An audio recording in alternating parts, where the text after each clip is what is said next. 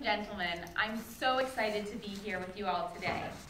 There's an old Chinese curse that says, may you live in interesting times.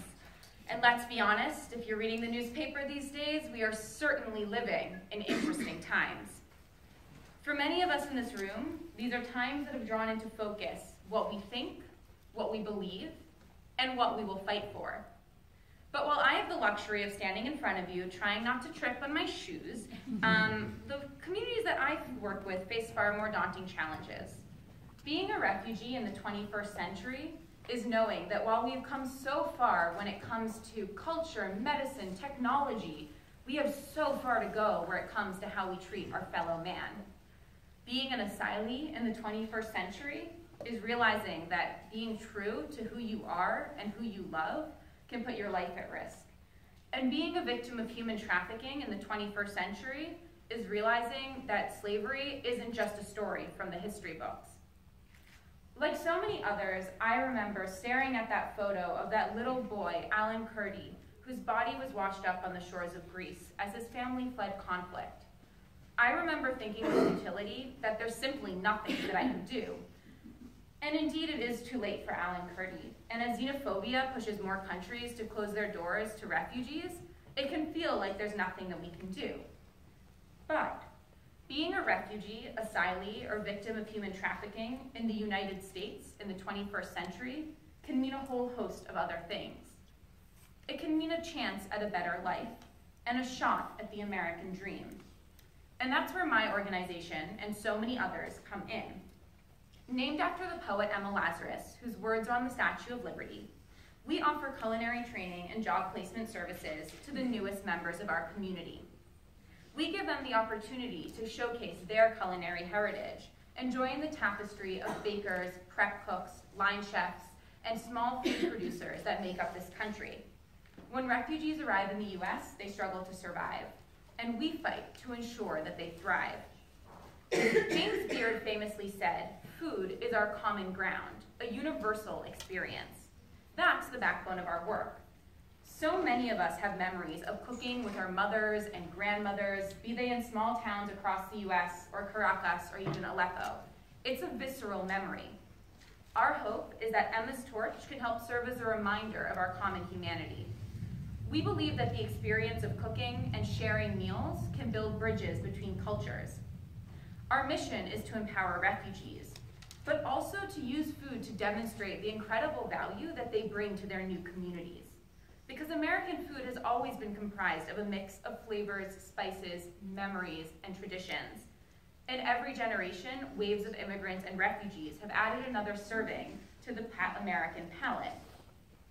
One of my students was really shocked when I told him that not only did I want him to join our class, I wanted more. I wanted him to also teach us to make his grandmother's arepas. And all week, I would receive these text messages of how excited he was and how he was practicing and how he couldn't wait to show us, to be both the student but also the teacher.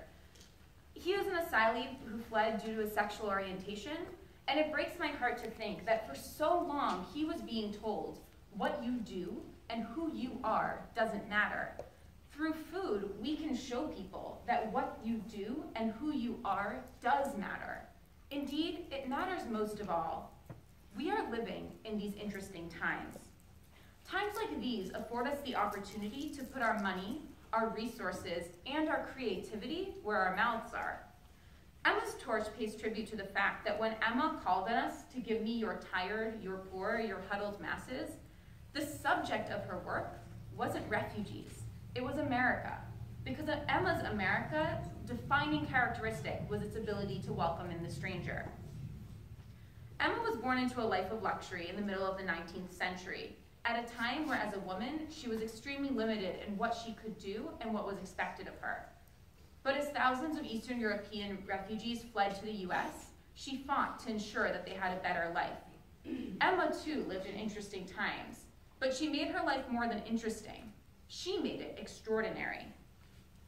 150 years later, her words are a rallying cry. Just a few weeks ago, I gathered with my friends and thousands of others in Battery Park in the shadow of Emma's words to protest the refugee ban. It was just one week after we'd marched down Fifth Avenue in defense of women's rights. And it felt as though these previously lazy Sundays were turning into these moments for political activism. My favorite poster from the protest, though, just said, I miss brunch. And that struck with me. I miss brunch too, right? Brunch is awesome. Brunch is great. It's also the source of livelihood for a lot of great cities. And what was interesting is that we were experiencing this moment where it felt like, in some ways, protest was the new brunch. But actually, I think what that sign overlooked is that brunch, in and of itself, can serve as an act of protest. We don't need to just be protest and active outside of our day jobs. We in the food community can use our professions, our creativity, and our kitchens to drive change. When we train refugees, we offer them access to a job market that was previously closed, and we show them that what they bring to the table matters. but when we hire refugees, we enrich our restaurants and food businesses. We bring much needed diversity to our kitchens, and we add a key ingredient to the American melting pot. Last month, the Day Without Immigrants created a stir throughout the country, as both here in Philly and across the nation, restaurants shuttered their doors in protest. But it's too easy to just look at those singular days and singular marches as these frozen moments of change. They're important and they are necessary. But we also need to not only have the day without immigrants, but the day, weeks, and months with immigrants. We need to showcase the benefits that all these people bring to our kitchens before days without them become a reality. We are living in interesting times, but we can and we must have a major impact.